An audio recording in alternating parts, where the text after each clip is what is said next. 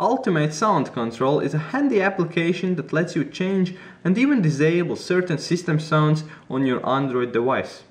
The app enables you to easily adjust all the volumes on your device, such as media volume, notification volume, call volume, etc.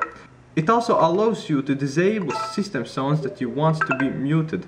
For example, you can disable the annoying camera shutter sound, focus sound, and even the low battery alert sound that always scares people off. The app is available for free on Google Play Store, however there's also a pro version that costs about 2 US dollars and it has an extra feature that allows you to replace any system sound with your own sound files. This is a really cool option if you want to customize your phone to the maximum.